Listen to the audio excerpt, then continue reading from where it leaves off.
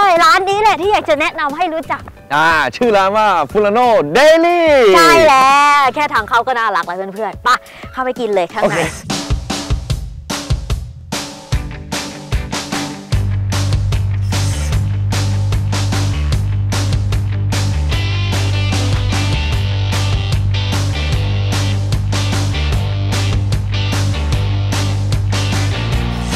โอเคเข้ามาเลยแชมป์ว้านี่เดี๋ยวอุ้ม จะแนะนำเลยนะ มาที่ร้านนี้นะคะ จะต้องสั่งอันนี้เลย อันไหนครับพี่ นี่ต้องสั่งอันนี้เลยอะไรครับ โนชีสเค้กอืมอันนี้อร่อยแบบใครมาต้องกิน อืมคือเป็นชีสเค้กทั้งก้อนเลยเลยใช่แล้ว เดี๋ยวพี่สั่งอันนี้ให้แล้วก็เดี๋ยวเราไปนั่ง เยี่ยมเลย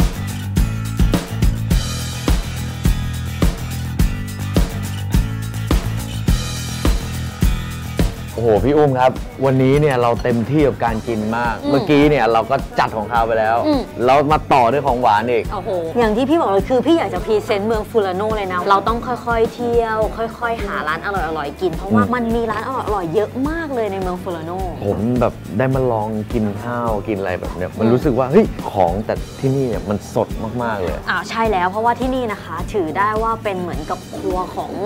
เมืองฮอกไกโดเลยอืมสดไม่สดแต่ว่าตอนนี้เนี่ยหิวมากเลย เห็นแล้วหน้าหน้าตานี่มันต้องลองมต้องลองอะเดี๋ยวให้ลองชิมก่อนเลยเดี๋ยวค่อยคุยกันครับ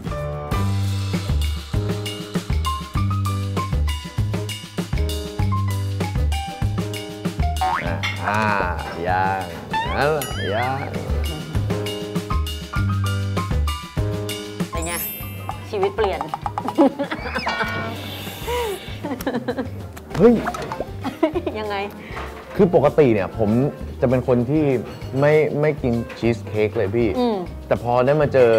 อันเนี้ยอืม เค้กอันเนี้ยชีสเค้กอันเนี้ย เฮ้ย มันทำให้ทัศนคติของผมเปลี่ยนไปอะอันเนี้ยเป็นคำพูดเดียวกันกับลูกค้าพี่เลยปะเออสมมติก็คืออุ้มมีหน้าที่แบบว่าเป็นหัวหน้าทัวร์ด้วยอะไรเงี้ยนะคะ อุ้มก็จะพาลูกค้ามากินที่เนี่ยอืมพอเขากินแล้วก็สัมผัสเข้าไปคือแบบคุณทำให้รสชาติลิ้นผมเสีย กินร้านนี้แล้วไปกินร้านอื่นไม่อร่อยแล้ว ใช่ เอ้ยจริงๆเป็นอย่างนั้นเลย จริงๆ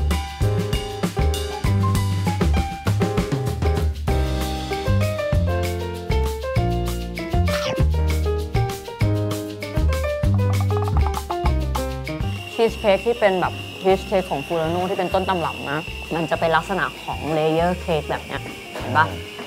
ชีสฟูด้านบน แล้วก็มีชีสนุ่มๆ ด้านใน สลับกันไปเรื่อยๆ เป็นชั้นอ่าอ่าๆอืมอันเนี้ยเนี่ยคือแบบว่าต้นกำเนิดของแบบชีสเค้กแบบฮอกไกโดเลย โอ้โห อย่างเพื่อนๆ คนไหนที่เคยไปกินที่โอตารุแล้ว อันนั้นเนี่ยก็ถือว่าแบบโหอร่อยมากแล้ว ร้านนี้คือปรมาจารย์ของร้านนั้นเลย อืมเขาเป็นเป็คนวามลับนะอ่าอ่าเป็นที่นี่เขาเป็นคนที่อาจารย์สอนวิธีการอ่าทำชีสเค้กแบบนี้ให้กับร้านนั้น โอ้โหแล้วคิดดูร้านที่เป็นคนสอนเนี่ยจะไม่อร่อยได้ไง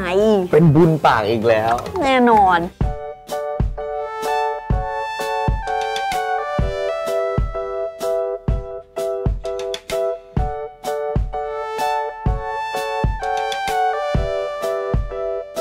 อันไหน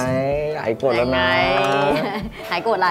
ก็ที่ให้รอคิวนานไง อ่านานเราได้อย่างนี้ โอเคไหม อุ้ยรักเลยรักจริงๆวันหลังเนี่ยมีมีทิปดีๆกับนะล็อกไว้ให้ด้วยแล้วกันโอเคอะอะเร็วต่อคิดให้แล้วหมกัดนเร็วเดี๋ยวไปต่อ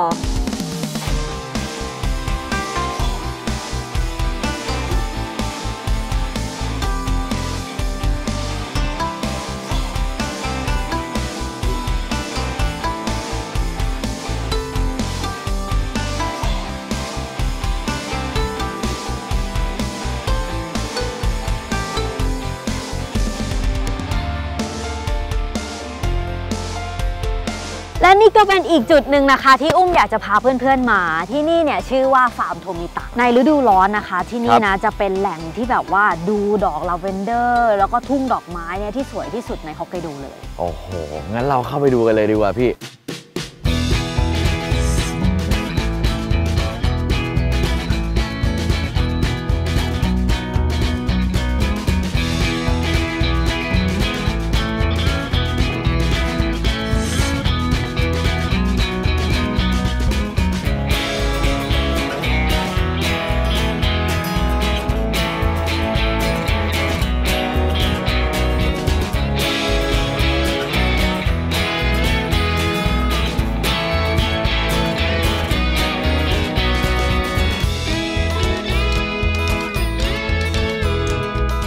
ส่วนตรงนี้นะคะเขาเรียกว่า Gallery Fleur ก็คือเขาจะแสดงภาพถ่ายต่างๆ ในช่วงฤดูร้อนของฟาร์มโทมิตะว่ามีส่วนตรงไหนที่มันสวยๆ บ้าง คือที่เนี่ยจะไม่ใช่แค่ลาเวนเดอร์อย่างเดียว จะมีหลายอย่างเลย มีทั้งกุหลาบหิน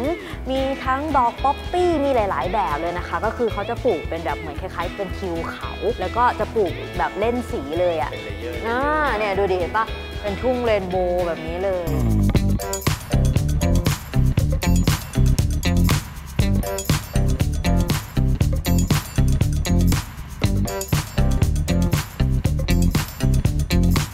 หพี่ถึงวันนี้ไม่ได้แบบมาดูดอกไม้เนี่ยก็ไม่เป็นไรครับ แต่ว่าหนึ่งในชีวิตทั้งทีเนี่ยได้มาเห็นที่ทุ่งหิมะแบบเต็มๆฟูๆแบบนี้ทั้งที มันก็โอเคอ่าเออไหนๆก็มาละขอสักสองดิ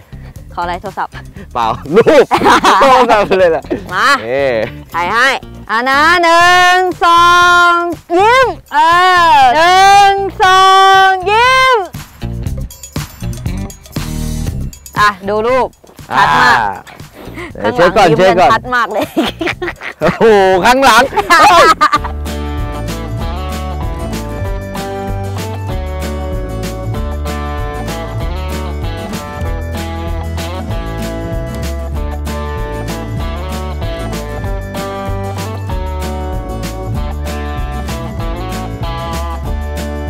โอ้ยสวยพี่สวยมาก ที่นี่นะคะเขาเรียกว่า dry flower house ก็คือเออเขาจะจัดเป็นบ้านที่แสดงเกี่ยวกับพวกแบบ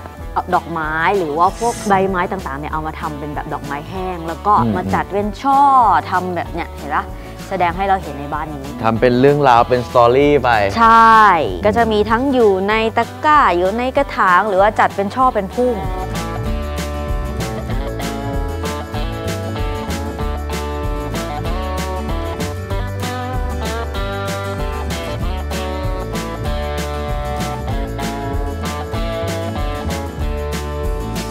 เขาจัดแสดงในบ้านหลังนี้นะคะ ก็จะมีแบบเป็นดอกไม้หลาย ๆ พันเลยนะ จะมีทั้งกุหลาบมีทั้งแบบคือเป็นดอกหญ้าหรืออะไรก็ตามที่มันสามารถที่จะทำเป็นแบบดอกไม้แห้งได้อะบางอันนี่พี่ยังแบบเอองงๆว่ามันทำเป็นแห้งแล้วมันสวยอะเออไปไปๆมาๆมันสวยนะ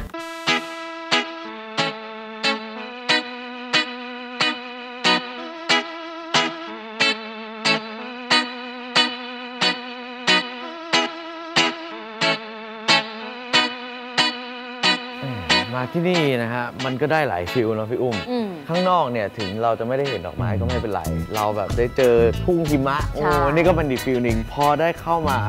ข้างในมาดูดอกไม้แห้งอะไรแบบเนี้ยมันก็เป็นสีสันอีกรูปแบบหนึ่งใช่แล้วก็แล้วเจ๋งก็ดีข้างในนี้อุ่นมากเลย เดี๋ยวพี่ให้แชมป์เดินดูถ่ายรูปอะไรสักแป๊บหนึ่งแล้วเดี๋ยวไปอีกที่หนึ่งเพราะว่าตอนนี้มันใกล้จะมืดแล้วยังเที่ยวไม่หมดเลยอะโอเค